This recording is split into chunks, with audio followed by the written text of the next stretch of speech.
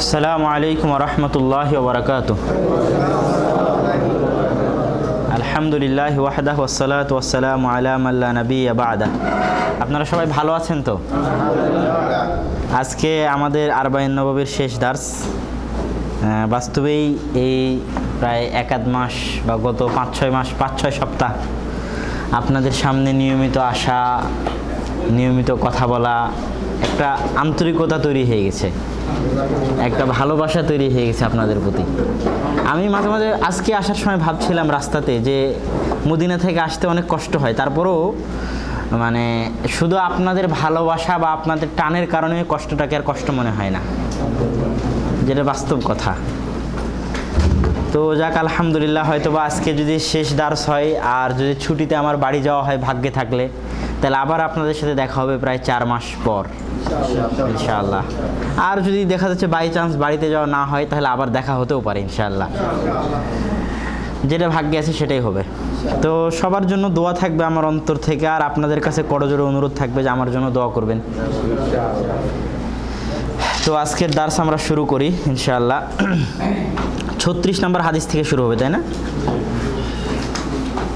আবু হরাজ্লাহ তালা আনহু থেকে বর্ণিত তিনি বলেন, রাসুল সাল্লাহ আলহি ওয়াসাল্লাম, এই সাল্লাহ আলী ওয়াসাল্লামের পড়ার অভ্যাসটা সবাই, ক্লাসের কেউ যেন বাদ না থাকে। ওই ব্যক্তির নাক ধুলায় ধূসরিত হোক, যার সামনে আমার নাম উচ্চারিত হলো, তারপরও সে আমার প্রতি দরুদ পাঠ করল না। মান নাফাসা আন মুমিনিন কুরবাতান মিন করবিদ দুনিয়া।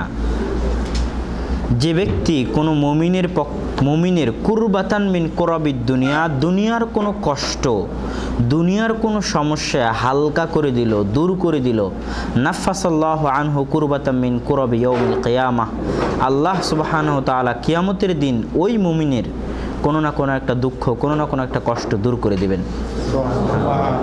আল্লাহ আকবার। ওমাই ইয়াসারা আলা মুসরিন ইয়াসার আল্লাহ আলাইহি ফিদ দুনিয়া ওয়াল আখেরা যে ব্যক্তি কোনো সমস্যার মধ্যে আছে ইয়াসারা মসরিন আর আগের কুরাবা কুরবাতান মিন কুরাবির দুনিয়ার মধ্যে পার্থক্য হচ্ছে, আপনি অন্য কারও নিকটে সমস্যায় পড়ে আছেন। যেমন রাস্তায় যাচ্ছেন, গাড়ির টায়ার নষ্ট হয়ে গেছে। আপনার কফিল আপনার সাথে ঝামেলা করছে। দেশে আছেন কোথাও হয়তো আটকে গেছেন অ্যাক্সিডেন্ট করে কোথাও হয়তো মেডিকেলে পড়ে আছেন, মেলা রকমের সমস্যা। এই সমস্যা আমি আপনাকে চিনি না, জানি না, বা চিনলেও আমি আপনাকে সাহায্য করলাম, সহযোগিতা করলাম। এটা হলো প্রথমটা যে, কুরবাতান মিন কুরবিদ দুনিয়া। আর এখন যেটা আল্লাহ বলছেন যে, কেউ সহজ করে দিল, এটা হচ্ছে আপনি আমার কাছে আমার কাছে কোনো একটা সমস্যায় পড়ে আছেন। আমার কাছে সমস্যায় পড়ে আছেন মানে আমি আপনাকে পঞ্চাশ হাজার টাকা ধার দিয়েছি। আপনি বলেছেন যে এক মাসের মধ্যে পঞ্চাশ হাজার টাকা শোধ করে দেবেন। এক মাস পর আমি আপনাকে বলছি যে পঞ্চাশ হাজার টাকা দিতে চাইছিলেন, দিচ্ছেন না যে। তখন আপনি অনেক অনুবিনয় বিনয় করছেন যে আসলে অনেক সমস্যা, এখন আমি টাকা জমা করতে পারিনি, দিতে পারছি না। এখন যদি আমি আপনার সাথে সহজ করি, এই ঝামেলাটা আপনার সাথে আমার, এটা হলো দ্বিতীয় বাক্য। হাদিসের দ্বিতীয় বাক্য হলো এটা, আমি কি বুঝাতে পারছি? প্রথমটা হলো দুনিয়ার যে কোনো সমস্যা সেখানে আমি আপনার ভাই হিসেবে আপনাকে সাহায্য করলাম, আপনার বিপদে আপনার পাশে দাঁড়ালাম। আর দ্বিতীয়টা হচ্ছে আমার স্বার্থে যখন আঘাত আপনার কারণে আমার স্বার্থে আঘাত হচ্ছে, আমার সমস্যা হচ্ছে। এখন আমি কতটা সবর করতে পারছি আপনার উপর? কতটা ধৈর্য ধরতে পারছি আপনার উপর? নিজের মুমিন ভাইকে নিজের স্বার্থের ক্ষতি হওয়া সত্ত্বেও কতটা ক্ষমা করতে পারছি? কতটা তার প্রতি ভালোবাসা, কতটা তার প্রতি রুদ্ধতা, কতটা তার প্রতি দয়া, মমতা দেখাতে পারছি? এটা হলো দ্বিতীয় বাক্য। আপনাকে যদি আমি এখন দয়া, মমতা দেখাই, তাহলে ক্ষতি আমার হবে। এটা হলো দ্বিতীয় বাক্য। তাহলে আল্লাহ সুবহানাহু ওয়া দুনিয়া এবং আখেরাতে দুই সময় তার সাথে সহজ করবেন, সহজ ব্যবহার করবেন। তারও কোনো ঝামেলা সহজ করে দিবেন। আল্লাহ তো আমি দুই বাক্যর পার্থক্য বুঝাতে পেরেছি তো? আলহামদুলিল্লাহ। ওমাং সাতরা মুসলিমান সাতরাহুল্লাহ ফিদ দুনিয়া ওয়াল আখিরাহ। আর যে ব্যক্তি গোপন রাখল, লুকিয়ে রাখল কোনো মুসলমানের দোষ ত্রুটি, আল্লাহ সুবহানাহু তাআলা দুনিয়া এবং আখেরাতে তার দোষ ত্রুটি লুকিয়ে রাখবেন। ফি আউনিল আব্দি মা কান আল আব্দু ফি আউনি যতক্ষণ পর্যন্ত কোনো বান্দা এখানে বাক্য খেয়াল করবেন হাদিসের বাক্য চেঞ্জ হয়ে গেল। এতক্ষণ ছিল কোনো মুমিনের কষ্ট দূর করলেন, তারপরে ছিল কোনো মুসলমানের কষ্ট দূর করলেন। পরে বাক্যে মুসলিম শব্দ ব্যবহার করা আছে। এখন মুমিনও নয়, মুসলমানও নয়, আদমের সন্তান, হিন্দু, খ্রিস্টান, বৌদ্ধ, ইহুদি, আদম আলাইসালাতামের সন্তান, মানুষ আলা আল্লাহর বান্দা অল্লাহ অল্লাহ ফি আউনিল আব্দি। আল্লাহ ততক্ষণ পর্যন্ত বান্দার সহযোগিতায়, মা কান আল আব্দু ফি আউনি আখিহি, যতক্ষণ পর্যন্ত বান্দা আর বান্দার সহযোগিতা করবে। দুনিয়াবি বিষয় যে কোনো বিপদ আপদে। আপনি যতক্ষণ আল্লাহর কোনো বান্দার, আপনার কোনো ভাইয়ের, কোনো মুমিন, কোনো মুসলমানের, সাধারণ কোনো মানুষের সাহায্য করবেন, তো আল্লাহ সুবাহানাহ তাআলা আপনার সাহায্য করবে। এই হাদিসগুলোকে বিশ্বাস করতে হবে। বললাম সাথে সাথে আপনারা সুবাহান আল্লাহ বললেন, কেউ আলহামদুলিল্লাহ বললেন, কারও ভালো লাগল। আর অন্তর দিয়ে হাদিসগুলোকে বিশ্বাস করা, বিশ্বাস করলে বাস্তব জীবনে ফল পাবেন। অন্তর দিয়ে বিশ্বাস করা। আল্লাহ কিন্তু ফেরেস্তাদেরকে দিয়ে মানুষকে সহযোগিতা করে। বদরের যুদ্ধে যখন মাত্র তিনশো তেরো জন সেনাবাহিনীর সদস্য ছিল, আর তাদের যখন হাজার জন ছিল, তখন যুদ্ধে জয়লাভ করা কঠিন ছিল। আল্লাহ সুবহানহতাল আসমান থেকে ফেরেস্তা নাজিল করেছিলেন এবং তারা যুদ্ধ করছিল ইহুদি খ্রিস্টানদের বিরুদ্ধে। তো আল্লাহ তাআলা দুনিয়াতে এরকম ফ্রেস্তা সবসময় লাগায় রাখেন মুমিন বান্দার সহযোগিতার জন্য। তো আল্লাহ তার এই ওয়াদাগুলোই ফেরেস্তাদেরকে দিয়ে পূরণ করেন। আপনি যদি কোনো বান্দার বিপদে আপদে সহযোগিতা করেন, তো আল্লাহ ফেরেস্তা দিয়ে আপনাকে এমন এক সময় সহযোগিতা করবে যখন সহযোগিতার খুব দরকার ছিল। আপনি বুঝতে পারবেন না যে কীভাবে কি হয়ে গেল। আল্লাহ সুবাহানহতাল্লাহ ফেরেস্তা আপনাকে সহযোগিতা করবে। বিশ্বাস করলে আপনি ফল পাবেন ইনশাআল্লাহ। তারপরে, ওমান সালাকা তরিকান ইয়ালতামি সুফিহ ইলমান সাহাল্লাহ বিহি তরিকান ইলাল জান্নাহ। যে ব্যক্তি চলল এমন রাস্তায়, যেই রাস্তায় সে অনুসন্ধান করে ইলমকে, জ্ঞানকে সাহাল্লাহ বিহি তরিকান ইলাল জান্নাহ। আল্লাহ সুবহানাহু তাআলা তার ওই ইলমের রাস্তায় চলার কারণে জান্নাতের রাস্তাকে সহজ করে দিবেন। ওয়ামা জালাসা কৌমুন ফি বাইতিম মিন বুয়ুতিল্লাহ ইয়াতলুনা কিতাব আল্লাহ কিতাব আল্লাহ আর কোনো মানুষ যদি কোনো একটা বাড়িতে মিলিত হয়, একত্রিত হয় কোনো বৈঠকে, যেখানে তার আল্লাহ সুবাহানহ তালার কিতাব পাঠ করে ওয়াতাদা রসুনা এবং সেটা চর্চা করে, পড়ে, আলাপ আলোচনা করে, বাইনাহুম তাদের মাঝে। ইল্লা নাজালাত আলাইহিমুসাকিনাহ তখন তাদের উপর অবতীর্ণ হয় চারটা বৈশিষ্ট্য। তাদের জন্য কয়টা বৈশিষ্ট্য? মানে এই যে আমরা এখানে বসে আছি, আমরা কার কথা এখানে আলাপ আলোচনা করছি? আল্লাহ এবং আল্লাহ রাসুলের কথা। আল্লাহ রাসুল তার কথা কার কাছ থেকে নিয়েছে? আল্লাহর কাছ থেকে নিয়েছে। তো এগুলো আল্লাহ সুবাহানাহ তালের বাণী আমাদের প্রতি। তার রাসুলের মাধ্যমে দিচ্ছেন। তো এখানে আমরা আল্লাহ এবং আল্লাহ রাসুলের কথা আলোচনা করছি। আমাদের জন্য এই চারটা ফজিলত। এক আলাইহিমুস সাকিনা, তাদের উপর অবতীর্ণ হবে সাকিনা। সবগুলোর আমি ব্যাখ্যা করছি। অগশিয়াত হুমর অগসিয়াত হুমর রহমা, তাদেরকে ঘিরে ধরবে রহমত, দয়া। ও হাফাত হুমুল মালাইকা এবং প্রথমটা হচ্ছে গাশিয়াত হুম ছেয়ে নিবে, তাদেরকে ছেয়ে নিবে রহমত দয়া, আর পরেরটা হচ্ছে হাফাত হুম ঘিরে ধরবে তাদেরকে মালাইকা ফিরেস্তাগণ আর চতুর্থ ওয়াজাকা রহমুল্লাহ ফি মানে ইন্দাহু, আর আল্লাহ আসমানে, সপ্তম আসমানের উপরে তার যারা আশেপাশে আছেন, তাদের কাছে গর্ব করে আমাদের কথা জিকির করবেন, উল্লেখ করবেন, স্মরণ করবেন। সুবহান আল্লাহ আল্লাহ আকবার।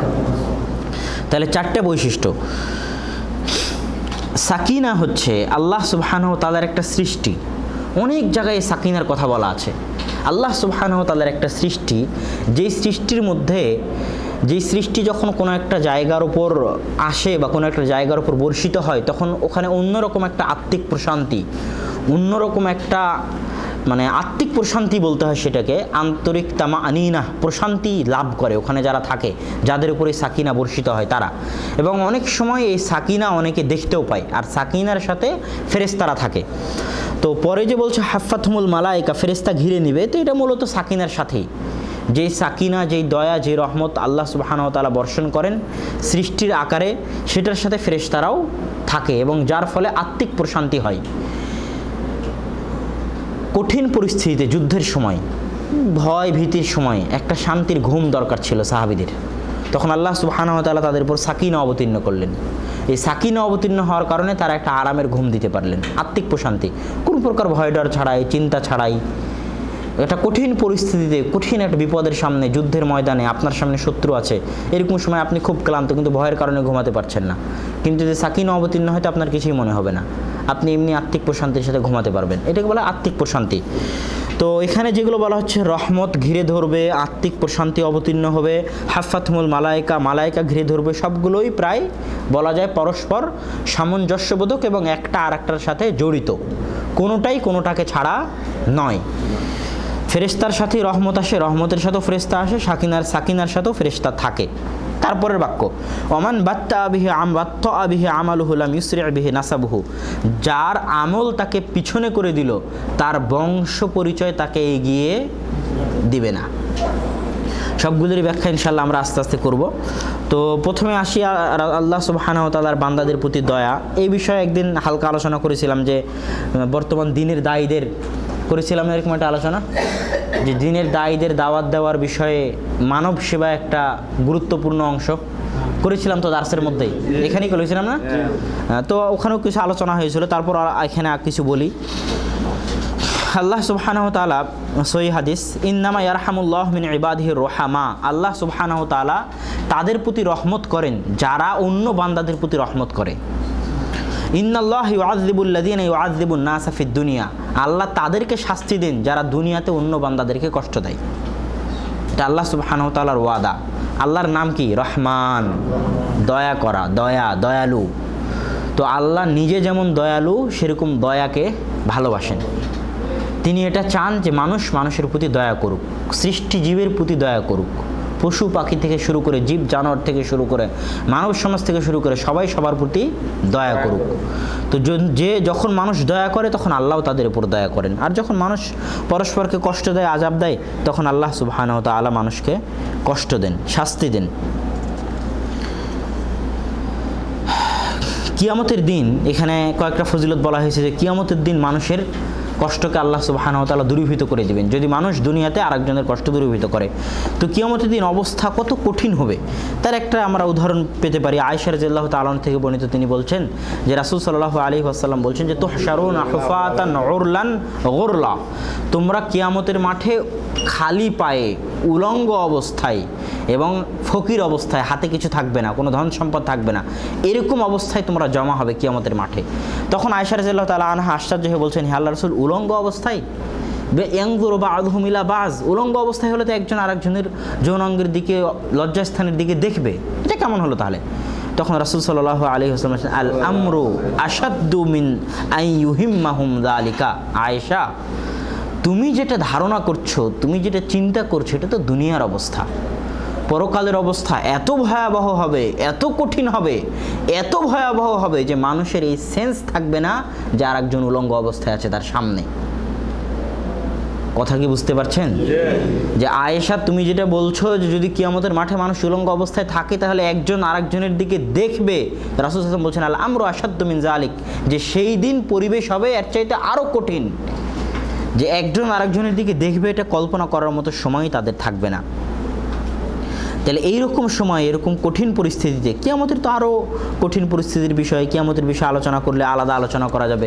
কেয়ামতের দিন মানুষের ঘাম হবে তার আমল অনুযায়ী, তার গুনাহ অনুযায়ী। কারও ঘাম তার হাঁটু পর্যন্ত, কারও ঘাম তার কোমর বরাবর, কারও ঘামে সে ডুবেই যাবে। কিয়ামতের দিন সূর্য থাকবে অনেক নিকটে। নির্ধারিত সেরকম কোনো পরিমাপ নাই, কিন্তু অনেক নিকটে। যেই সূর্যের তাপে মানুষ, বলা যায়, এখনই আমরা সেই সূর্যের তাপকে সহ্য করতে পারছি না, লক্ষ লক্ষ কোটি কোটি মাইল দূরে থাকার পর, যখন অনেক কাছে থাকবে তখন অবস্থা কি হবে? তো সেই দিনে আল্লাহ সুবহানাহু তাআলা আমাদের কষ্টগুলো দূর করবেন। যদি দুনিয়াতে আমরা মানুষের কষ্ট দূর করি। তারপরে এই যে তাইসির আলাল মুআসির যেটা ছিল নিজের সাথে সম্পৃক্ত, দ্বিতীয় যে হাদিসের বাক্যটা, যেটার আমি উদাহরণ দিলাম, টাকা ধার নেওয়ার বিষয়। ওটার বিষয়ে রাসূল সাল্লাল্লাহু আলাইহি ওয়াসাল্লামের কিছু হাদিস শুনেন।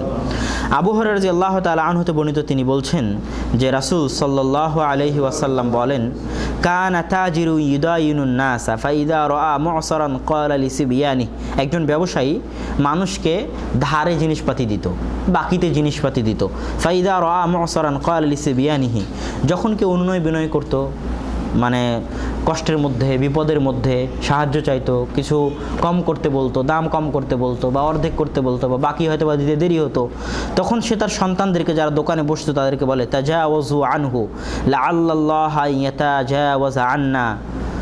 তুম, হে আমার সন্তানেরা, যারা এইরকম বিপদ আপদের দরখাস্ত নিয়ে তোমাদের কাছে আসবে এবং তোমাদের কাছে কিছু ছাড় পাওয়ার আবেদন করবে তাজা বসু আনহু, তাদেরকে ছাড় দাও। হতে পারে এর বিনিময়ে কিয়ামতের দিন আল্লাহ আমাদেরকে ছাড় দেবেন। আল্লাহ আকবার।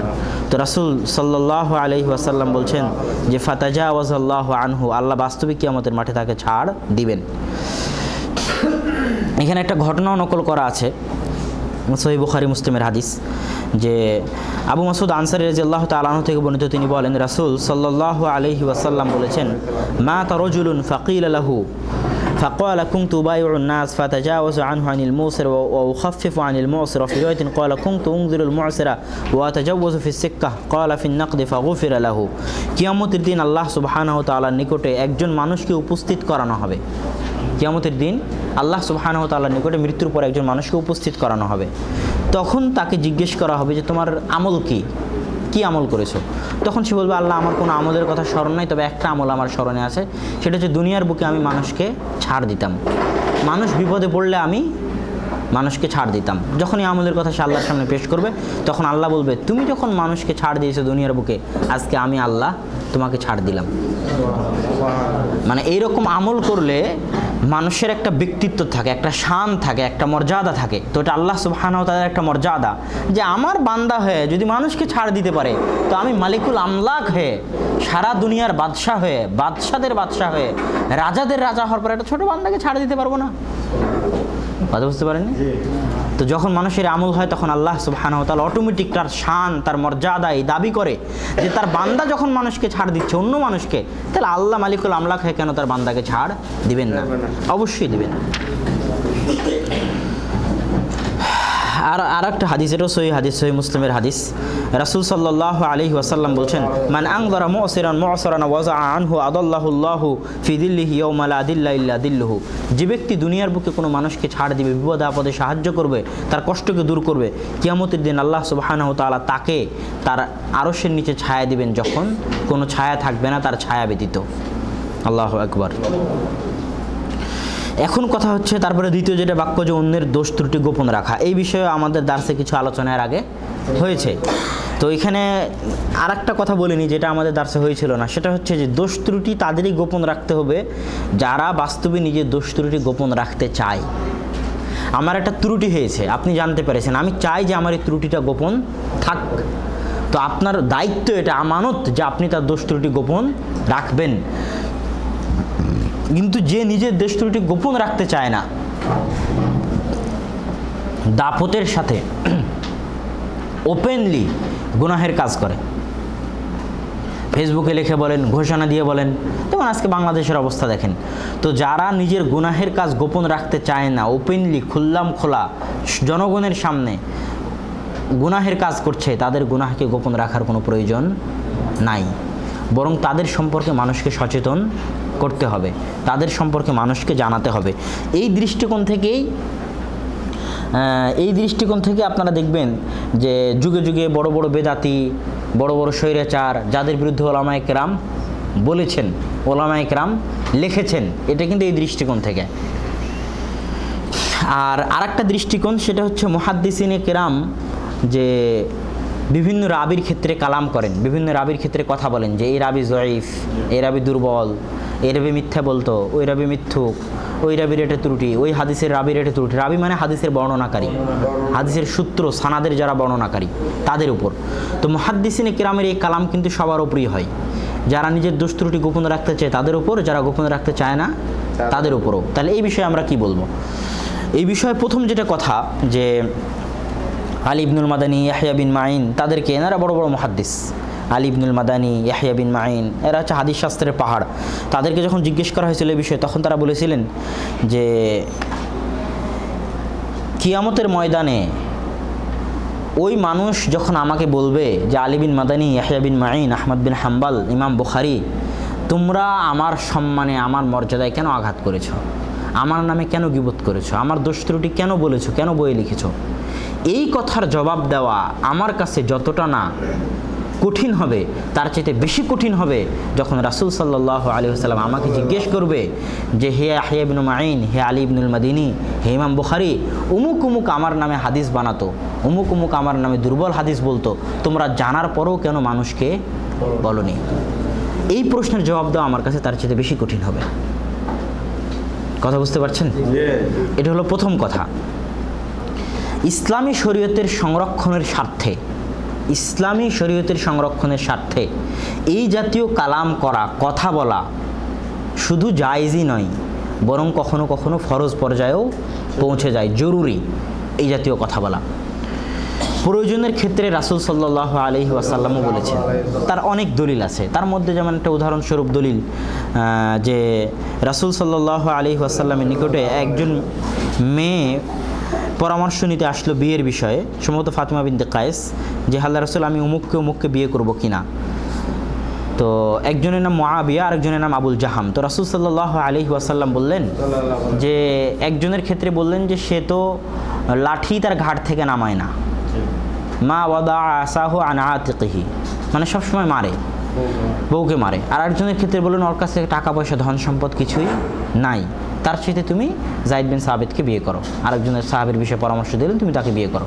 তো প্রয়োজনের খাতিরে সে যেন বিপদে না পড়ে, সে যেন সমস্যায় না পড়ে, তার জন্য কষ্ট না হয়, তার জন্য সমস্যা না হয়, তার জন্য ক্ষতি না হয়, তাকে একটা ক্ষতি থেকে বাঁচানোর জন্য রাসুল সাল্লাহ আলহি ওয়াসাল্লাম কারও দোষ ত্রুটি তার সামনে বর্ণনা করছেন।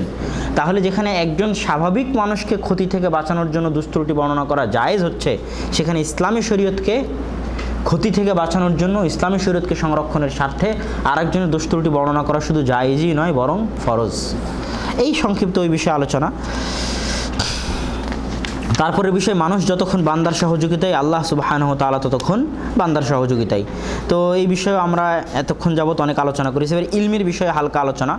ইলমের বিষয়ে হালকা আলোচনা, সেটা হচ্ছে যে, ইলম আসলে, জ্ঞান আসলে কোনটা?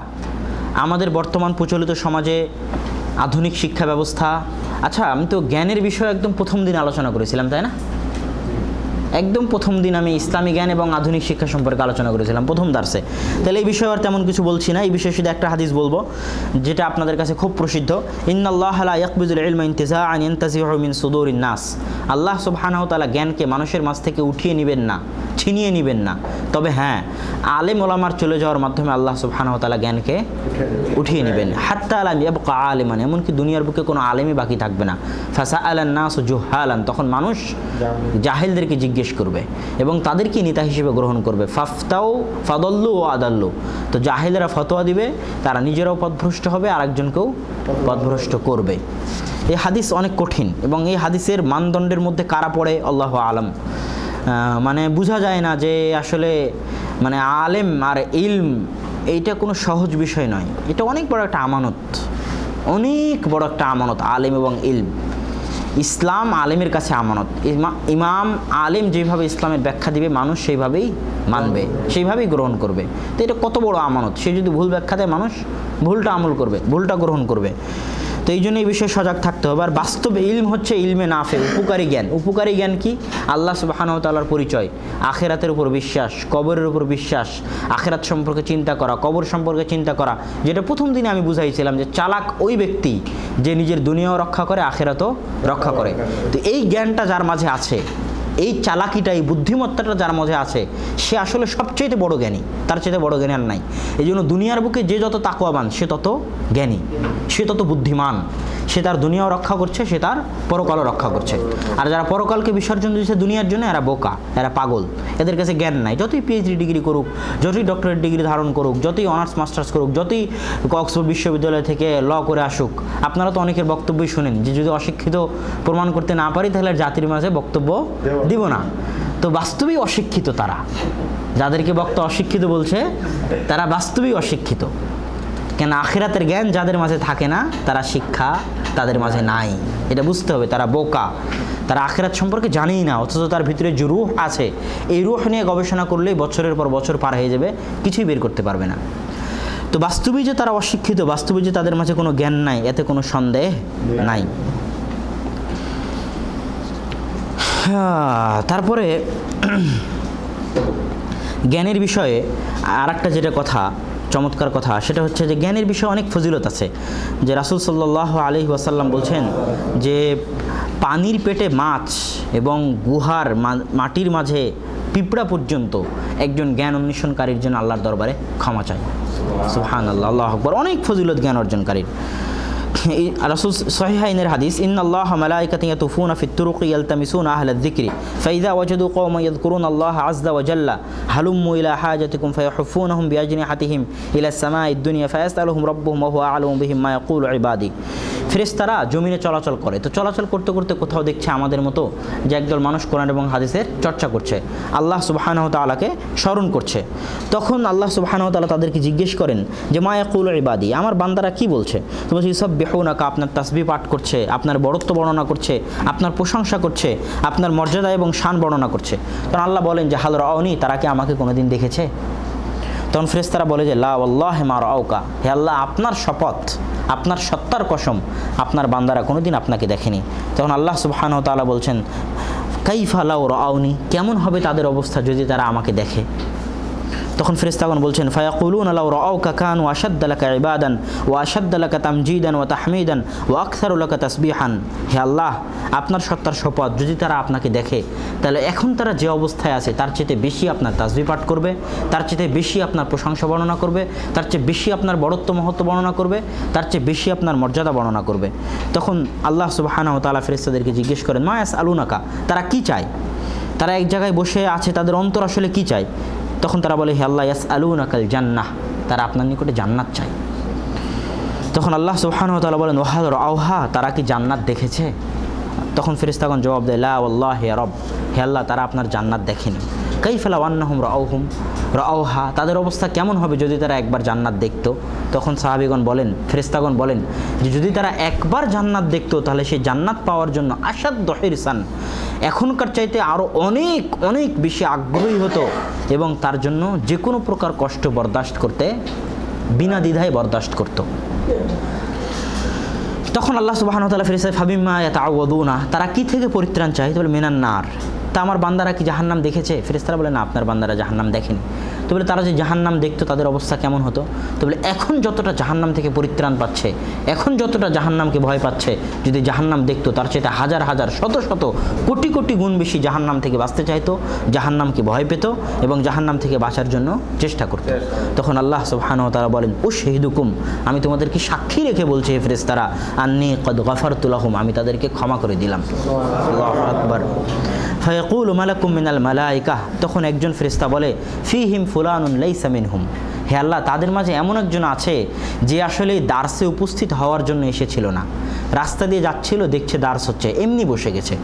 বা এই দার্সের কোনো একটা মানুষের সাথে তার কাজ ছিল, তো সে বলেছে, আমার দার্সে শেষ হলে আমি তোমার কাজটা শেষ হলে, চলো তাহলে তোমার সাথে আমিও দার্সে থাকি। এই বলে সে দার্সে এসেছে, তার কি করবেন? তখন আল্লাহ সুবহানাহু তাআলা বলেন, হুমুল জুলাসা লা ইয়াশকা বিহিম জালিসুহুম। যারা বসে আছে মানে যারা আমার স্মরণ করছে আমাকে, তাদের সম্মান এতই যে তাদের সাথে যারা আছে, তাদেরকে আমি কষ্ট দিতে পারি না। তাদেরকেও আমি ক্ষমা করে দিলাম। আল্লাহ আকবার। তো এই একটা হাদিসি আল্লাহ সুবাহানাহ তালা স্মরণ করা, আল্লাহ সুবাহানাহ তালার জ্ঞান অর্জন করার পিছনে সময় দেওয়া আসলে অনেক কিছু।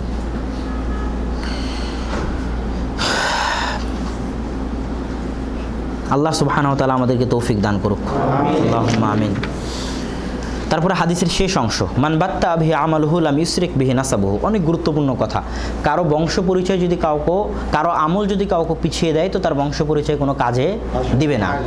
এই এই অংশটুকু বোঝানোর জন্য, শেষের অংশটুকু বোঝানোর জন্য একটা হাদিসই যথেষ্ট।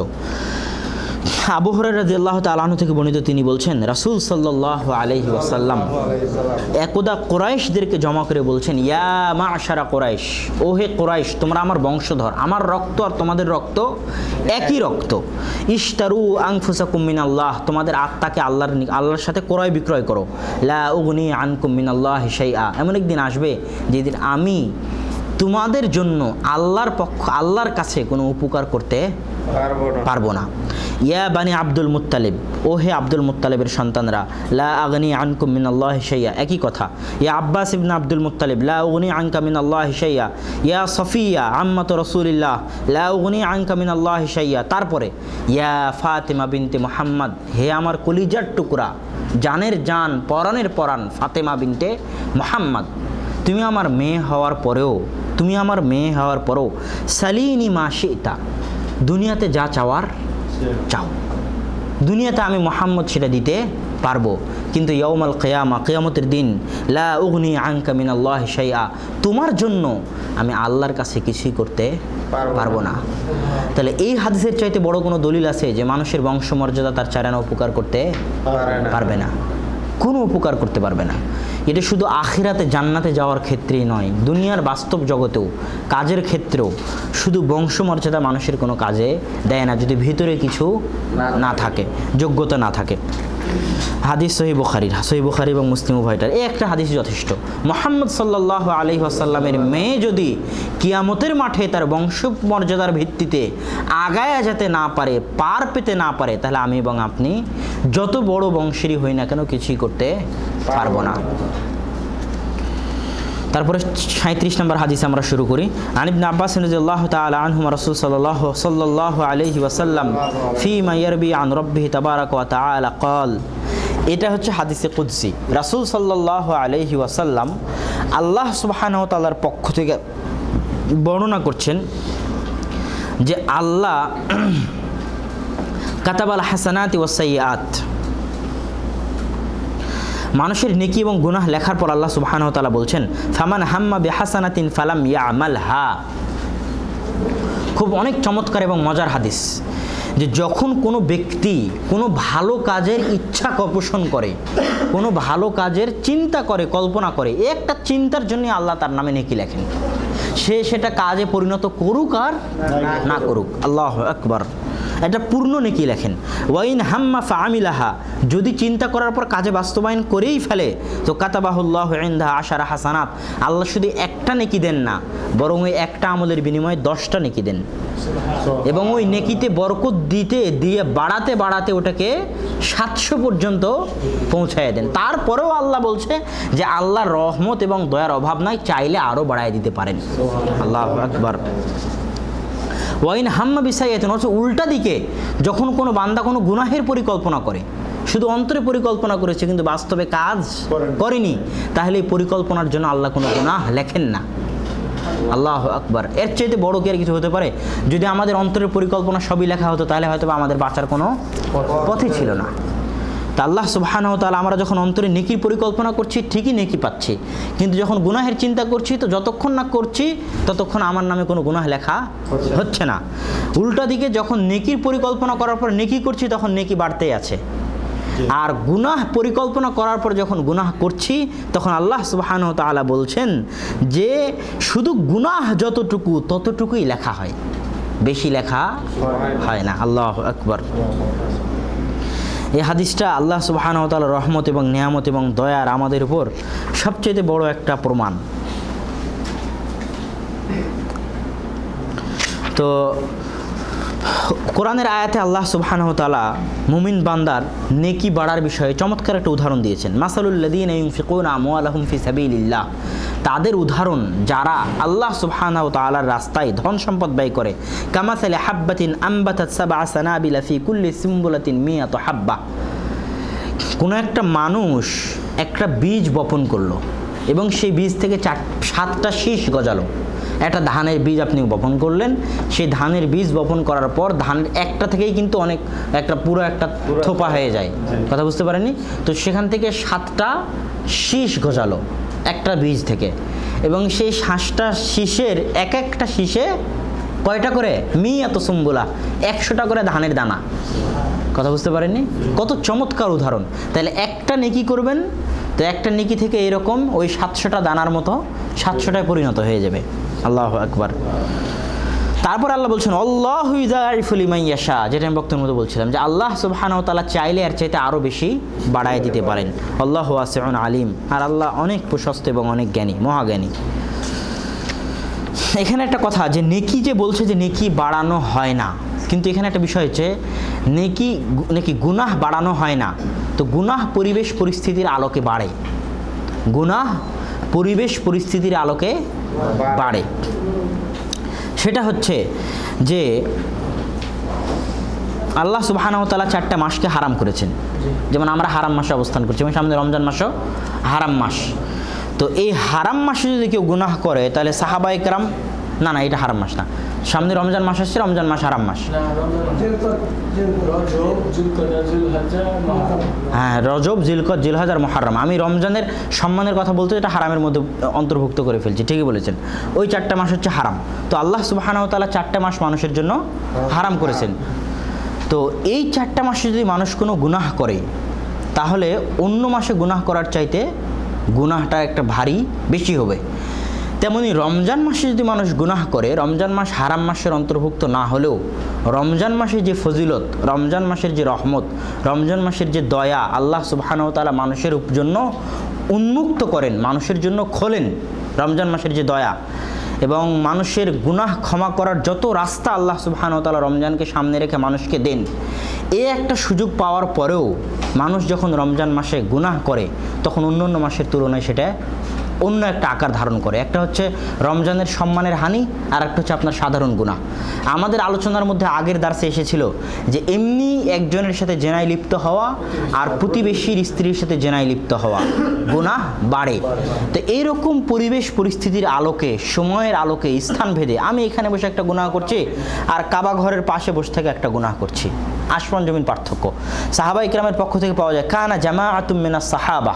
সাহাবিদের একটা জামাত ইয়াত্তাকুনা ফিল হারাম। তারা কাবা ঘরে এবং মসজিদ নবীর ভিতরে থাকতে ভয় পেতেন, থাকতেন না, এড়িয়ে চলতেন। প্রয়োজন শেষ খালাস। কি ভয়? যে মানুষের অন্তরে শয়তানের প্ররোচনার কথা বলা যায় না। কাবা ঘরের পাশে থাকা অবস্থায়, হারামের ভিতরে থাকা অবস্থায়, মক্কা মদিনার ভিতরে থাকা অবস্থায় আমার থেকে যেন কোনো গুনাহ না হয়ে যায়। এই যারা ভয় পেতেন তাদের মধ্যে অন্যতম ছিলেন আবদুল্লাহ বিন আব্বাস, আবদুল্লাহ বিন আমর ইবনুল আস ওয়াকাদা আলিকা ওমর ইবনা আব্দুল আজিজ। এরকমই ছিলেন ওমর ইবনা আব্দুল আজিজ। তিনিও হারামে বেশিক্ষণ থাকতেন না।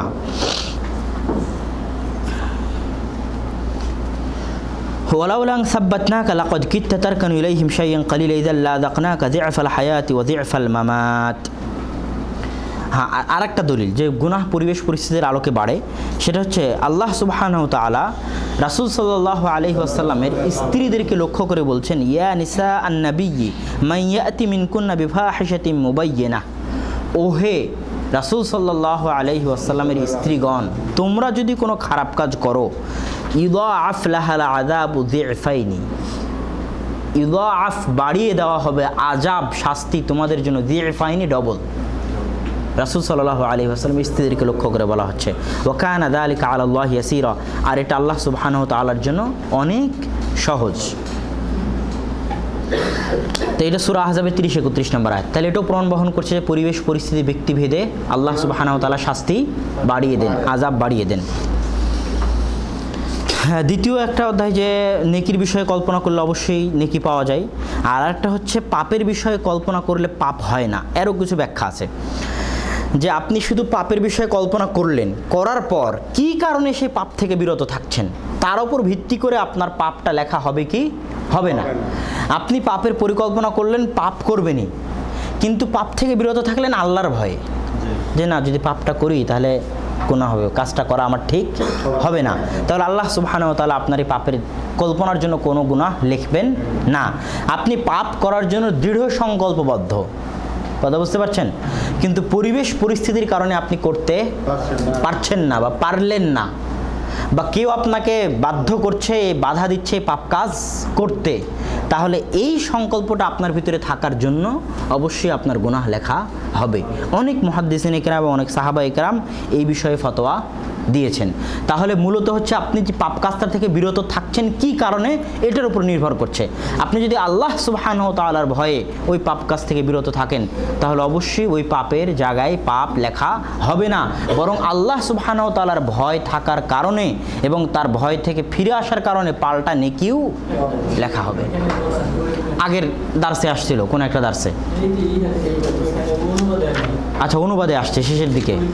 হ্যাঁ পরিপূর্ণ একটা, যদি আল্লাহ সুবাহ তাদের ভয় ফিরে আসে, তাহলে অবশ্যই তাকে তার জায়গায় আর একটা পাল্টা নেকি দেওয়া হবে।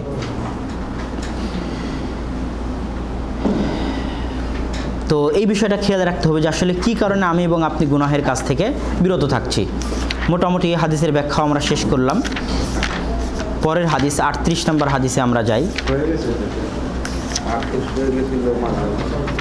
কীভাবে হয়ে গেছিল? আগে একদিন এমনি বলেছিলাম। অন্য একটা হাদিসের ব্যাখ্যা এই হাদিসটা এমনি পেশ করেছিলাম। এই হাদিসের আলাদা করে ব্যাখ্যা করিনি।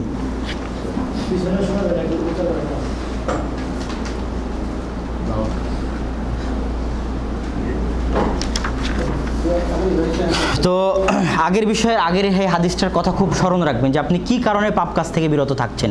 খুব গুরুত্বপূর্ণ পয়েন্ট তো আটত্রিশ নম্বর হাদিস, আবু রাজিয়াল্লাহ তালন থেকে বর্ণিত তিনি বলেন, রাসূল সাল্লাহ আলহি ওয়াসাল্লাম বলছেন, ইন্নাল্লাহ তাআলা ক্বালা মান আদ আলী ওয়ালিয়ান।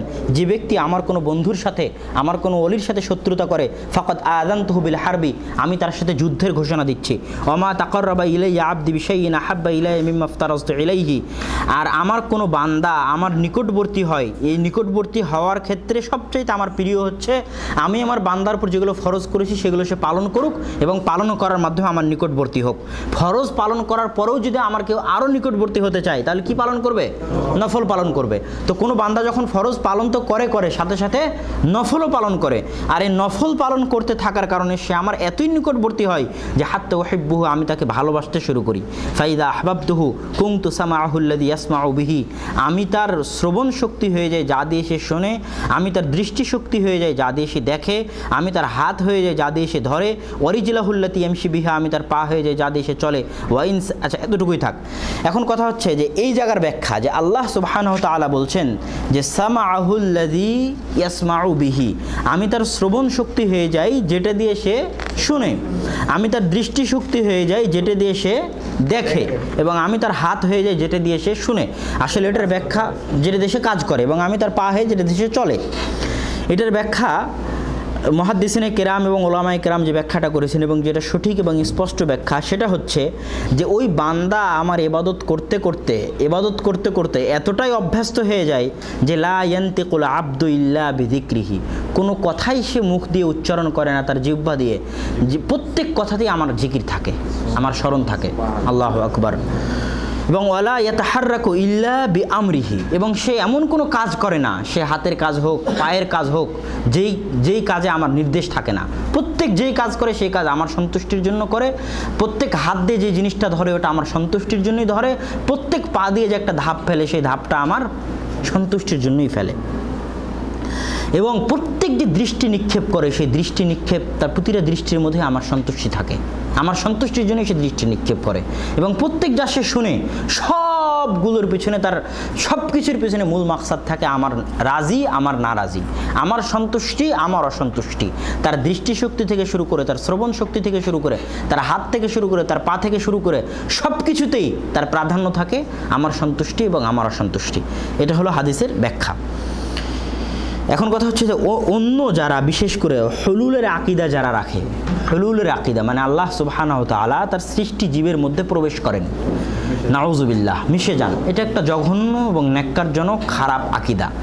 যারা সুফিবাদ, সুফিবাদের একটা গ্রুপ বা একটা দল, যারা আল্লাহ সুবহানাহ তাআলার জিকির করতে করতে এমন একটা পর্যায়ে নিজেদেরকে নিয়ে যায়, বিশ্বাস করে, যেটাকে বলে হাক্কুল ইয়াকিন, যে আমরা একিন মানে আল্লাহর ইবাদত করতে করতে ততক্ষণ পর্যন্ত ইবাদত করো যতক্ষণে একিন হয়ে যায়।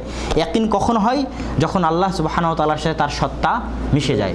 নাউদুবিল্লাহ এর কোনো দলিল পবিত্র কোরআন এবং সহি হাদিসে এমনকি সালাফে সালেহিন সাহাবাই কেরাম রাসুল সাল্লাহ আলি আসাল্লাম কারও কাছে পাওয়া যায় না।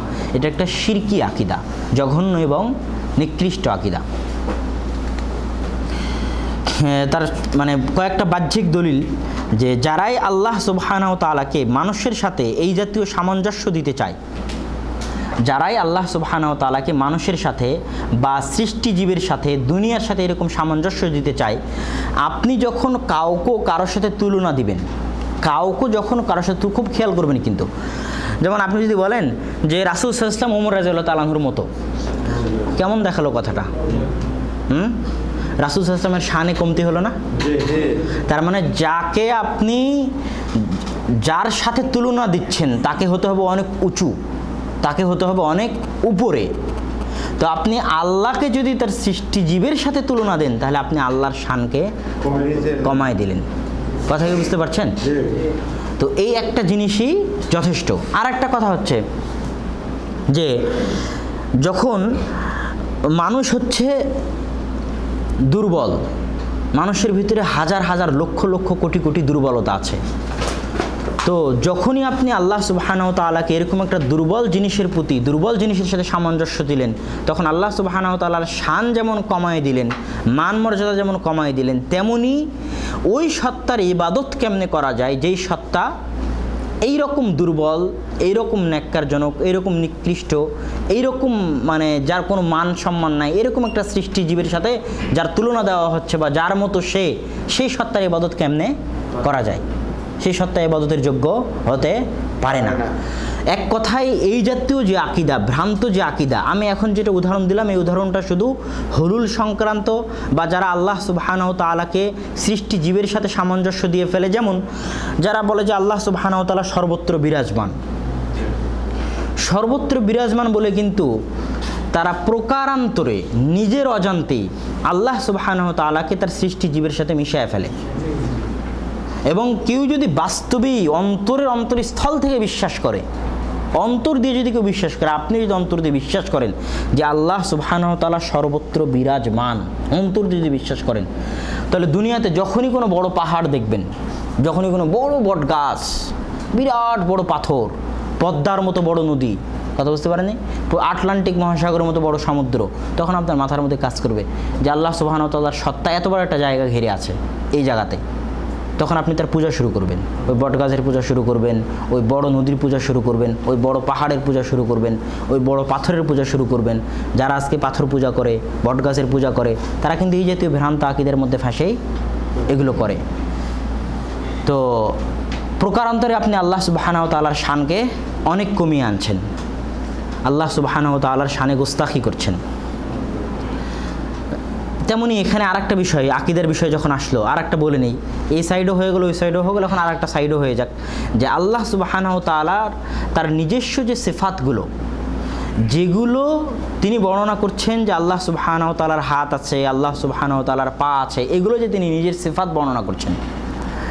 এগুলোর ক্ষেত্রে যারা তাবিল করতে চায় যেমন হাতকে বলে যে আল্লাহ সুবাহানাও তালার শক্তি, বা আল্লাহ সুবাহানাও তালা উপরের আসমান থেকে নিচের আসমানে নেমে আসেন, এটাকে বলে ফেরেস্তাদের অবতীর্ণ হওয়া, বা আল্লাহ সুবাহানাও তালা রহমতের অবতীর্ণ হওয়া।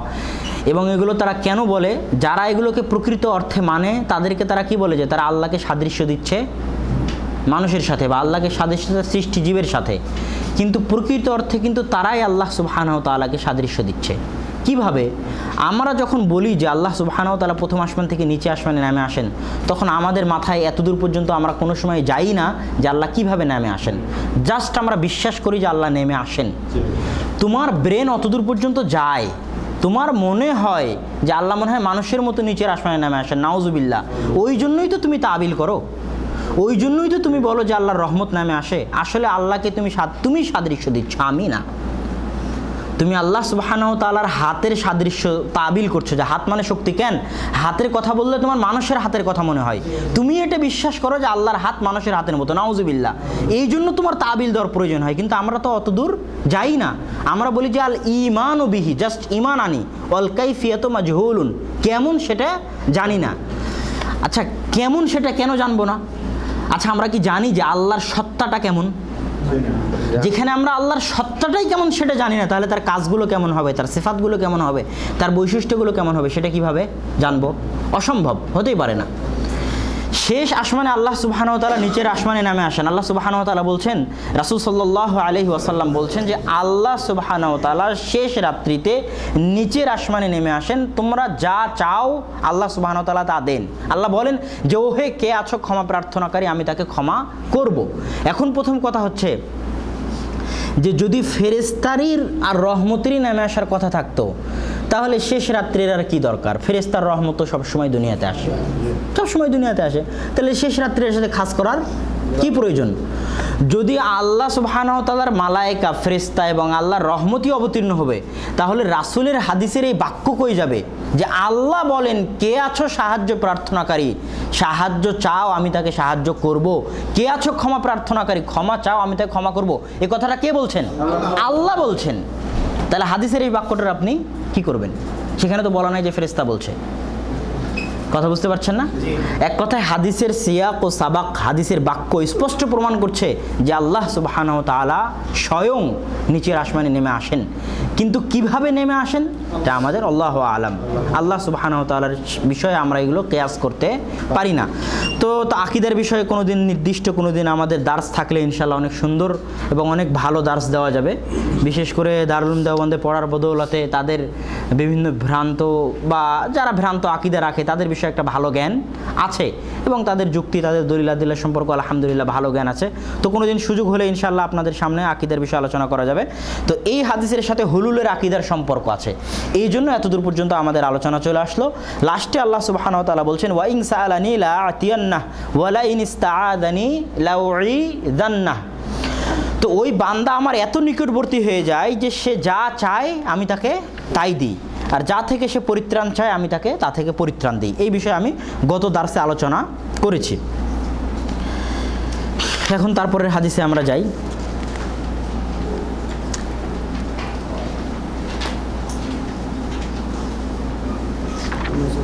এই হাদিসের আর একটা অংশ, যে অংশটা মোটামুটি মানে হাসান সনদ দ্বারা প্রমাণিত, এর মধ্যে নাই। সেটা হচ্ছে যে আল্লাহ বলছেন অমা তারাদ্দাদ্দু আন শাইইন আনা ফাইলুহু তারাদ্দুদি আন আব্দুল মুমিন ইয়াকরাহুল মাউতা ওয়া আকরাহু মাসাআতাহু।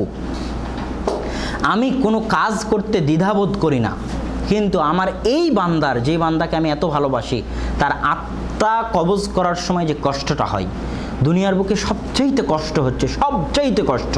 জেল, শুলি, ফাঁসি সব কিছু আপনাকে গরম আঙ্গারের মধ্যে রেখে দেওয়া হোক, আপনাকে তপ্ত মরুভূমির মধ্যে রেখে দেওয়া হোক, এগুলো একটাও ওই কষ্টের মতো নয়, মরণের সময় জান কবজের সময় যে কষ্টটা মানুষের হয়।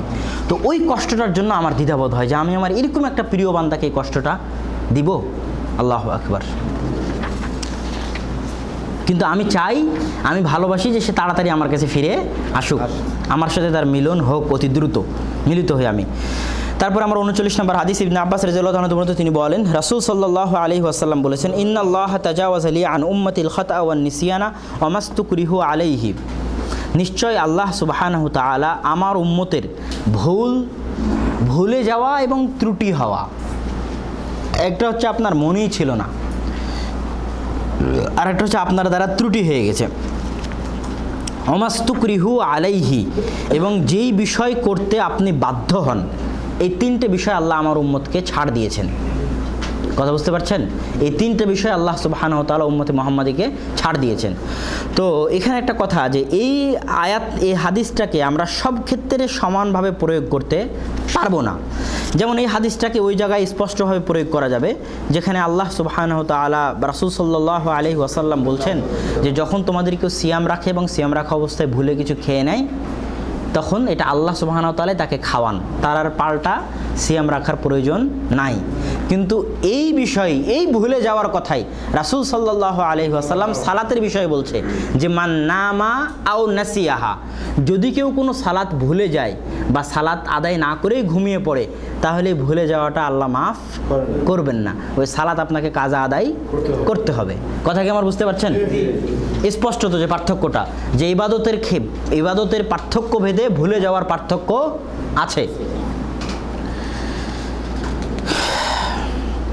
এখন তারপরে কথা হচ্ছে যে আপনি যখন বাধ্য, আল্লাহ সুবাহ পবিত্র কোরআনের আয়াতে বলছেন, স্পষ্টভাবে বলছেন যে, ওমান কাফার বিল্লাহ মিন ইমানিহি ইমান আনয়নের পর যারা আল্লাহ সুবাহান তালার সাথে কুফরি করে, তাদের তো একটা কিছু বলছেন, ভয় প্রদর্শন বলেন, জাহান্নাম, জান্নাত, যেটাই বলেন। কিন্তু ইল্লামান উকরিহা অকলবহু মুতমা ইন্নুন কিন্তু তারা যাদেরকে মজবুর করা হয়েছে, বাধ্য করা হয়েছে কুফরি করার জন্য মুতমা ইন্নুন বিল ইমান আর তাদের অন্তর ইমানের বিষয়ে প্রশান্তময়। মানে অন্তরে তাদের ইমান আছে, কিন্তু মানুষের চাপের কারণে বাধ্য হয়ে সে গুনাহের কাজ করছে। তাহলে আল্লাহ সুবাহান তালা তাকে মাফ করে দিবেন বা ক্ষমা করে দিবেন। তো এটারও পরিবেশ পরিস্থিতি থাকে। এই জিনিসটারও পরিবেশ পরিস্থিতি থাকে। যেমন মানে এগুলো হেকমার বিষয়। যেমন আমি আপনাকে একটা উদাহরণ দিচ্ছি। একটা কাল্পনিক উদাহরণ মনে করেন, বাংলাদেশের কথাই মনে করেন। বাংলাদেশে আপনি আপনি, আমি বা পাঁচ ছয়জন মুসলমান মাত্র। আমাদেরকে বাংলাদেশের বাদশাহ বাংলাদেশের সরকার ডাকলো, ডাকে হয় কোনো একটা কুফরি করতে বলছে বা কোনো একটা গুনাহের কাজ করতে বলছে, কোনো একটা হারাম কাজ করতে বলছে। এখন আমরা ইমানের জোরে বললাম যে না, করব না। তখন সে আমাদেরকে হত্যা করে দিল। এটা হেকমার খেলাফ হলো। কেন বাংলাদেশে তো আর কেউ নেই যে দিনের দাওয়াত দিতে পারবে। আমি আর আপনি আছি মাত্র। তাহলে এই সময় আমরা যখন বাধ্য হব তখন আমাদেরকে মানে নিতে হবে। কেন আল্লাহ সুবাহতাল আমাদের অন্তর সম্পর্কে বেশি জানেন? আর আর একটা সময় যখন হাজার হাজার লাখ লাখ জনতা আমার পিছনে আছে আমি মারা গেলেও কোনো যায় আসে না। তাহলে এইরকম সময় উঁচু ইমানের দাবি হচ্ছে হার না মানা। কথা বুঝতে পারেননি? বাধ্য হলেও অটল থাকা। কথাকে আমি বুঝাতে পারলাম? যাক আলহামদুলিল্লাহ। তো এই গেল আমাদের ভুলে যাওয়ার বিষয় এবং হয়, যদি সিঁড়িকে বাধ্য হন? এই বিষয়ে ওলামাই কেন এবং মহাদ্দিসিনদের যেটা বক্তব্য যে সই হাদিসে আছে ওই হাদিসটা ওই হাদিসটা এখন বলব যে লা তুশরিকু বিল্লাহি শাইআন ওয়াইন কুত্তি'তুম আও হুররিকতুম। তোমরা আল্লাহ সুবহানাহু তাআলার সাথে কাউকে শিরিক করো না। যদিও তোমাদেরকে আগুনে জ্বালিয়ে দেওয়া হয় এবং যদিও তোমাদেরকে আগুনে পুড়িয়ে দেওয়া হয়। এখন এই বিষয়ে জিজ্ঞেস করা হয়েছিল হাসান বাসরিকে যে আপনি কি বলবেন যে একজনকে বাধ্য করছে কেউ যে এই মূর্তিকে সিজদা করো। তো হাসান বাসরি জবাবে বলেছিল যে মূর্তি যদি পশ্চিম দিকে থাকে মানে কাবা ঘরের দিকে থাকে তাহলে সিজদা করুক আর নিয়ত আল্লাহর করুক। যে আমি আল্লাহ সুবাহ তাল্লার জন্য সিজদা করছি। আর যদি মূর্তি কাবা ঘরের দিকে না থাকে তাহলে যেন সিজদা না করে।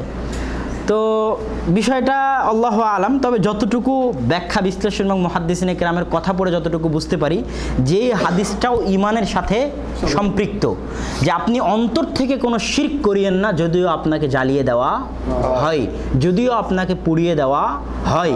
কিন্তু যদি বাধ্যবাধকতা হন, তাহলে এটা আপনার ইমানের উপর। আপনার ইমানি জাজবা যদি বেশি থাকে, আর হেকমা, যে হেকমার কথা বললাম, এরকম হেকমার পরিস্থিতির আলোকে বিবেচনা করে অনেক সময়, যেমন এই আরেকটা হিকমার উদাহরণ দিই। মনে করেন আমি বা আমি না, মনে করেন এই ভাই অনেক বড় একজন আলেম বাংলাদেশের। অনেক বড় আলেম বা পৃথিবীর একজন অনেক বড় আলেম। তাকে জেলখানায় নিয়ে যাওয়া হয়েছে, তাকে বাদশার সামনে পেশ করা হয়েছে। তাকে বলা হচ্ছে যে, তুমি যদি এই গুনাহের কাজ না করো, তাহলে তোমাকে হত্যা করা হবে। এখন এই আলেম যদি গুনাহের কাজ করে, তাহলে লক্ষ লক্ষ কোটি কোটি মানুষের উপর আর প্রভাব পড়বে। কথা বুঝতে পারেননি? তাহলে এটা হেকমাহ যে আলেমের জীবন চলে গেলেও যেন সে নিজের আদর্শের উপর অটল থাকে। যেমন ইমাম আহমদ বিন হাম্বাল।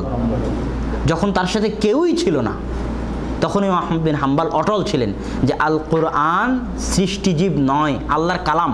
আল কোরআন ও কালামুল্লাহ। তো তার এই অটল থাকার কারণেই কিন্তু ওই ফিতনা বন্ধ হয়ে গেছে দূর হয়ে গেছে। তো পরিবেশ পরিস্থিতির আলোকে আমাদেরকে এই ডিসিশনটা নিতে হবে হেকমার আলোকে। আর এখন আর একটা ব্যাখ্যা, লাস্টের ব্যাখ্যা, সেটা হচ্ছে এতক্ষণ যে জোর জবরদস্তি এবং চাপ প্রয়োগের কথা ছিল, সেটা ছিল অন্যায়, জোর জবরদস্তি এবং অন্যায়, চাপ প্রয়োগ। যখন সত্যের জন্য চাপ প্রয়োগ, সত্যের জন্য জোর জবরদস্তি, তখন মাফি মুশকিল। তখন সব কিছু গ্রহণ করা হবে। কোনো একটা কাফেরকে আমি বলছি, ইসলাম ধর্ম গ্রহণ না কর, নালে মেরে ফেল দেবো। যখন একটা সময় আসবে, রাসুল হাসান বলছেন, এমন কোনো পাকা ঘর থাকবে না, মাটির ঘর থাকবে না, যেখানে ইসলাম প্রবেশ করবে, কারও ঘরে সম্মানের সাথে, কারও ঘরে লাঠির সাথে। তো লাঠির ভয় যদি কেউ ইসলাম গ্রহণ করে, তাহলে তার ইসলাম গ্রহণ করা হবে। মাফি মুশকিল। তো সত্যের জন্য যদি কাউকে বাধ্য করা হয়, তাহলে এটা চলবে কথা বুঝতে পারেননি? আর যদি অসত্যের জন্য কাউকে বাধ্য করা হয় তার কোনো সমস্যা নাই। আল্লাহ সুবাহ তাআলা সেটা গ্রহণ করবেন না, বরং মাফ করে দিবেন। চল্লিশ নম্বর হাদিস কুনফিদ দুনিয়া কান্নাকা গরিবন ওয়া আবিরু সাবিলিন ওয়া কানা ইবনু ইয়াকুল ইযা আমসাইতা ফালা তানতাজির সাবাহ ওয়া ইযা আসবাহতা ফালা তানতাজির মাসা আমরা গত একটা হাদিস এসেছিল যে জুহুদ, জহুদের ব্যাখ্যা। এটাও একটা জুহুদের ব্যাখ্যা। যে জহুদ কি? সেটা হচ্ছে কুনফিদ দুনিয়া কান্নাকা গরিব। দুনিয়াতে এমনভাবে বসবাস করে যেন তোমাকে কেউ চিনে না। আর একটা কি? অথবা তুমি মুসাফির। আর উমর রাজাল্লাহ তালা ইবনু উমর রাজাল্লাহ তালাহ বলছেন, তুমি যখন সন্ধ্যা করো তখন সকালের অপেক্ষা করো না, যখন সকাল করো তখন সন্ধ্যার অপেক্ষা করো না। খুসবিন সে হাতিক আলী মারাজিক। অসুস্থ হওয়ার আগে সুস্থতাকে কাজে লাগাও এবং মৃত্যু আসার আগেই তোমার জীবনকে কাজে লাগাও। এখানে আলী বিন আবি তালিব রাজিয়াল্লাহ তালাহের একটা কথা, ইন্না দুনিয়া কদির তাহালাত মুদবারাহ। দুনিয়া পিছন দিকে ছুটছে। ওয়ান্নাল আখেরাতা মুকবেলা আর আখেরাত আসছে। দুনিয়া পিছন দিকে ছুটছে আর আখেরাত সামনে দিক থেকে ধেয়ে আসছে।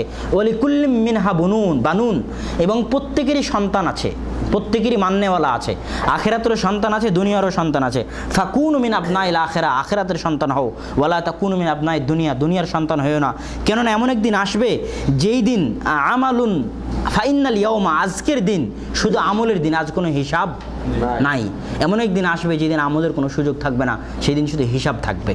মানে হিসাব গ্রহণ করা হবে। এই জন্য দুনিয়ার বান্দা হয় না, বান্দা কার হও? আখিরাতের বান্দা হও। আল মৌমিনু ফিদ দুনিয়া মাহমুমুন। একজন মুমিন বান্দা দুনিয়াতে সবসময় চিন্তাগ্রস্ত থাকে কেন? আখেরাতে তার বাড়িঘর নির্মাণ করা নিয়ে। কীভাবে সে আখেরাতের বাড়ি বানাবে? কীভাবে সে আখেরাতের ঘর তৈরি করবে? এই জন্য সে সবসময় চিন্তাগ্রস্ত থাকে। পৃথিবীর সবচেয়ে শক্তিশালী মদ হচ্ছে, মাদকতা হচ্ছে দুনিয়ার মাদকতা, দুনিয়ার লোভ। এই লোভ মানুষকে তার মৃত্যুর আগে আফসোসে ফেলে এবং আফসোস করিয়েই ছাড়ে।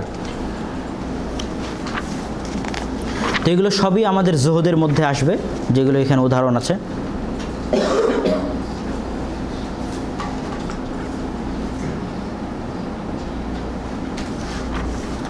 আমরা একচল্লিশ নম্বর হাদিসে আসি। আবদুল্লাহ বিন আমর ইবনুল আস রাজিয়াল্লাহ তাল আহনু থেকে বর্ণিত তিনি বলেন, রাসূল সাল্লাহ আলহি ওয়াসাল্লাম বলছেন,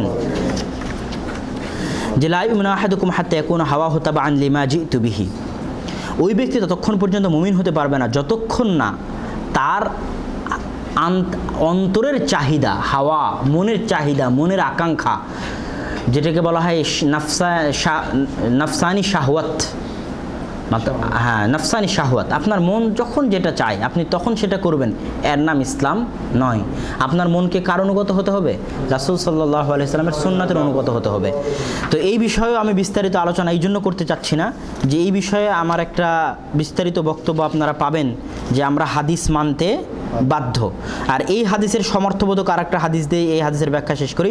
লা ইউমিনু আহাদুকুম হাত্তা মিন ওয়ালিদিহি ওয়া ওয়ালাদিহি ওয়ান নাসি আজমাইন।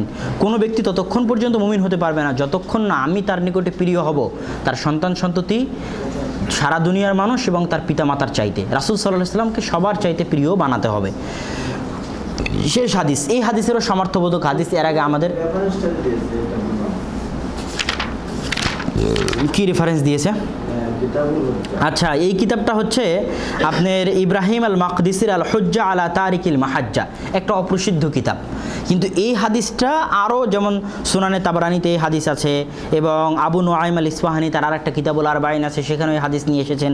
এবং এই হাদিসের সানাদে দুর্বলতা আছে। এই হাদিসের একজন রাবি নোয়াইম বিন হাম্মাদ আল মারওয়াজি তার সম্পর্কে প্রায় সকল মহাদ্দেশি বলেছেন যে যদিও সে সোননাথের অনুসারী, কিন্তু তারপরও সে দুর্বল। সে অনেক মুনকার হাদিস বর্ণনা করতো। আলাহু মানাকির মহাদ্দিসগণ তার বিষয়ে মন্তব্য করেছেন। এবং এই মজামে তাবরানির আরেকটা, মজামে তাবরানির সানাদের আরেকজন রাবি, সেই রাবিও মোটামুটি দুর্বল, অপরিচিত, মাজহুল রাবি। সেই সূত্রে এই হাদিসের সানাদ দুর্বল। এই যে যেই বাক্যে আমরা এই হাদিসটা পাইছি এই বাক্য অনুযায়ী হাদিসের সানাদ দুর্বল। যদিও ইমাম নবী রহমল্লা বলেছে হাদিসুন হাসানুন সাহিহুন কিন্তু এই হাদিসের সানাদ দুর্বল। এই হাসানুন সাহিহুন বলার কারণ হচ্ছে যে এই হাদিসের সমর্থবোধক হাদিস শত শত আছে যেটা আমি এখনই পাঠ করলাম। যে লাই মিন হাতুকুম হাত্তা কোন হাব্বে আলাইহি ওয়ালিদি ওয়ালাদি ওয়ান নাসি আজমাইন ইত্তেবাই সুন্নাতের উপর যত হাদিস আছে সবই এই হাদিসের সমর্থবোধক। এই জন্য এই হাদিস নিয়ে আসার পর তিনি এই হাদিসকে হাসান বলেছেন সমর্থবোধক হাদিস থাকার কারণে। কিন্তু হাদিসের সানাদ দুর্বল। এখানে একটা অবশ্য কথা বলিনি, যে সানাদের আমি সবচেয়ে ভালো যদি আমি যদি যতটুকু আপনাদের সামনে আলোচনা করছি, যেমন এই যে এখন আছে এই হাদিসটা পড়ায়নি, তারপরে বলছি। এই হাদিসটারও কিন্তু আলোচনা আমাদের এর আগে গেছে। আনাস বিন মালিক রাজিল্লাহ তালানু বলছেন, তিনি বলেন, রাসুল সাল্লাহ আলী ওয়াসাল্লাম বলেন, ইয়া ইবনা আদম, ওহে আদম সন্তান, ইন্নাকা মা দাউতানি ও রাজাউতানি গফরতুলাকা আলা মা কানা মিনকা ওয়ালা উবালি। তুমি যদি আমাকে ডাকো এবং আমার কাছে আশা করো, তাহলে আমি তোমাকে ক্ষমা করে দেবো, আমি কোনো পরোয়া করি না। ইয়া ইবনা আদম, লাউ বালাগাত দুনুবকা আনানা সামা, যদি আসমানের চূড়ায় তোমার পাপ পৌঁছে যায় সুম্মাস্তাক ফারতানি তারপরে তুমি যদি আমার কাছে ক্ষমা চাও গফারতুলাক আমি তোমাকে ক্ষমা করে দেবো। ইয়াবিনা আদম ইন্না কালাওয়াতাই তেনি বিকোরা বিলার যে খাতায়া, জমিন ভর্তি যদি পাপ নিয়ে আসা আর যদি তোমার কাছে শির্ক না থাকে তাহলে লাতাই তুকা বিকোরা বিহামাক ফেরা আমিও আসমান এবং জমিন ভর্তি ক্ষমা নিয়ে তোমার সামনে উপস্থিত হব। এরকম অর্থবোধক একটা হাদিসের আগে আমাদের কাছে কিন্তু গেছে। তো এই হাদিসের মধ্যে যেটা কয়েকটা পয়েন্ট ধরার ধরার মতো কয়েকটা পয়েন্ট যে দোয়া কবুল হওয়ার বিষয়ে আল্লাহ সুবাহানাহ তাআলা কয়েকটা কথা বলছেন এখানে যে দাও তানি ও রজাও তানি তুমি আমার কাছে দোয়াও করো এবং আশাও রাখো। মানে দোয়া করার সাথে সাথে আশা পাক্কা হতে হবে। যদি কেউ দোয়া করছে আর মনে মনে সন্দেহ, কে জানে আমার দোয়া কবুল হয় কি না কবুল মনে হবে না। তাহলে ওই দোয়া কবুলই হবে না। হ্যাঁ। না, না- মনে মনে সন্দেহ থাকছে। দোয়া তখনই কবুল হবে যখন আল্লাহর সাথে দৃঢ় আশা থাকবে, দৃঢ় বিশ্বাস থাকবে যে না, আল্লাহ আমার দোয়া কবুল করবেন। এই বিশ্বাস যখন থাকবে তখনই মানুষের দোয়া কবুল হয়। এটাই হাদিসের একটা বাক্য দ্বারা সেটা প্রমাণিত হচ্ছে। ওরা তানি আর সাহাবাই কেরামের পক্ষ থেকে পাওয়া যায় যে রাসুল সাল্লাহ আলী আসাল্লাম তাদেরকে বলতেন যে, তোমরা দোয়ার বিষয়ে তাড়াহুড়া করিও না। কেননা আল্লাহ সুবাহ তারা এটা পছন্দ করেন যে, মানুষ তার কাছে চাইতে থাক। এটা আল্লাহর ভালো লাগে। তো আজকে চাইলেন, কালকে যদি আল্লাহ আপনাকে দিয়ে দেয়, তো আপনি চা বন্ধ করে দেবেন। আপনি একটু দীর্ঘ চান, আল্লাহকে এটা ভালো লাগে যে, মানুষ আমার কাছে চাক। তো আপনাকে হয়তো অনেক দেরিতেই দিল আল্লাহ সুবাহানাও তালা হতাশ হওয়া যাবে না। দোয়া কয়েকভাবে কবুল হয়। আপনি যেটা চাচ্ছেন ওটাই হুবহু আল্লাহ আপনাকে দিচ্ছে। আপনি যেটা চাচ্ছেন ওটাকে হুবহু দিচ্ছে না। কিন্তু আর সামনে কোনো বিপদ ছিল আপনার জন্য, ওই দোয়ার বদৌলতে বিপদটা দূর করে দিলেন।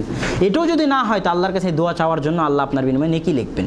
আর দোয়াও হল ইবাদা দোয়াই হচ্ছে ইবাদত। তো এই জন্য দোয়া কবুল হওয়া যদি তাড়াহুড়া করেন, তাহলে বুঝতে হবে যে আল্লাহ সুবাহান তালার প্রতি আপনার বিশ্বাস দুর্বল। আর এখানে আরেকটা চমৎকার কথা মানে পড়লাম আমি গবেষণা করতে যাই, ব্যাখ্যা বিশ্লেষণ করতে যাই, পড়লাম আরও বিভিন্ন বইয়ে, যেটা আমি এর আগে কোনো সময় এইভাবে পড়িনি। যে আস্তাগফিরুল্লাহ আল্লাযী লা ইলাহা হাইয়ুল কাইয়ুম ওয়া আতুবু ইলাইহি।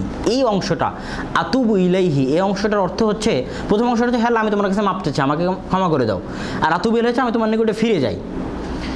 তো অনেক মহাদ্দিসিনে কেরাম এটার ব্যাখ্যায় বলছেন অনেকে অনেকেরই নাম, যেমন রাবি ইবিন খাইসাম আরও অনেক বড় বড় মহাদেশ নেকেরাম যে সবারই ও আতুব ইলাইহি বলা উচিত নয়। তারই ও আতুব ইলাইহি বলা উচিত, যার অন্তরে দৃঢ় পরিকল্পনা আছে যে সে যে পাপ থেকে ক্ষমা চাচ্ছে, ওই পাপ আর দ্বিতীয়বার করবে না। কেন আতুব ইলাইহি, তোমার নিকটে ফিরে যাচ্ছি মানে আমি ওই পাপ আর দ্বিতীয়বার করব না।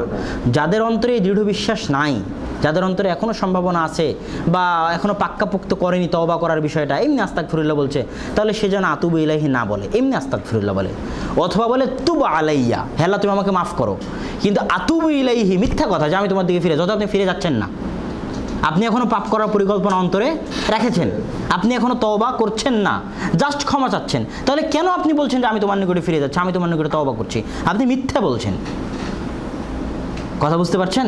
আল্লাহ সুবাহান তালাশের মিথ্যে বলছেন। এই জন্য আতুব ইলাইহি বলার ক্ষেত্রে, আমি তোমার নিকটে তওবা করছি বলার ক্ষেত্রে, শর্ত হচ্ছে যে আপনি এই পাপ আর দ্বিতীয়বার করবেন না এই বিষয়ে আপনার অন্তরে দৃঢ় সংকল্প থাকতে হবে। যদি দৃঢ় সংকল্প না থাকে, তারপরেও যদি আপনি অতুব ইলাইহি বলেন, তাহলে আপনি যেন আল্লাহ সুবাহান তাল্লার সাথে মিথ্যে বলছেন। আর দোয়া করার কয়েকটা গুরুত্বপূর্ণ বৈশিষ্ট্য হচ্ছে যে দোয়া শুরু করার আগে আচ্ছা এই হাদিসের ব্যাখ্যা শেষ করে নিই এই হাদিসের থেকে তো একটা বোঝা গেল যে হতাশ হওয়া যাবে না, আশা রাখতে হবে। আর এই হাদিসের শেষ অংশ থেকে আর একটা বোঝা যাচ্ছে যে দোয়া কবুলের অন্যতম একটা শর্ত তাও হিদ থাকতে হবে পাক্কা ভিতরে। শিরক থাকা যাবে না। কথা বুঝতে পারেনি এই হাদিসের শেষ অংশ থেকে এরও বোঝা যাচ্ছে যে দোয়া কবুলের অন্যতম একটা শর্ত কি? তাওহিদ থাকতে হবে। শিরিক যদি থাকে তাহলে আর দোয়া কবুল হবে না, আর পাপ ক্ষমা হবে না। এখন যেটা বলতে চাচ্ছিলাম যে কি বলতে চাচ্ছিলাম সেটাই তো ভুলে গেলাম। হ্যাঁ দোয়া কবুলের বৈশিষ্ট্য জাজাকুমুল্লা খের যারা মনোযোগ দিয়ে শুনছেন, এরকম ছাত্র ক্লাসে থাকা খুব জরুরি তো।